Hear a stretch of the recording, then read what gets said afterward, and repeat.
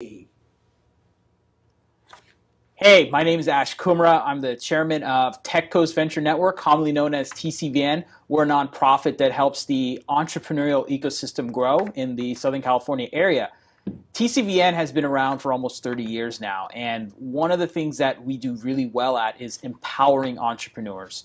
We do events, we provide access to mentorship, and we provide resources such as contacts to capital, guidance on your business development, and all these things that can really help the entrepreneur kind of journey grow.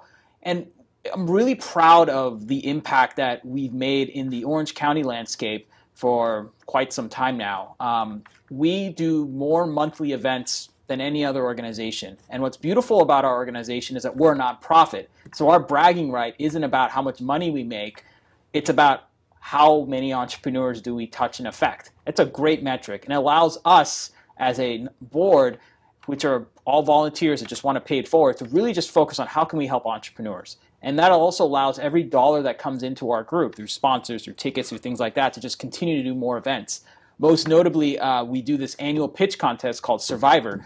Uh, the last two survivors, we actually gave out a $25,000 cash prize for the best investment opportunity. And it's an adventure because the last survivor we had over 125 companies participate. It started off with the best 30 second pitches, then went down to the top 10, then it went down to the top three. It was an adventure. Um, the, the other thing that's really great about our group is that we've now touched into two other areas.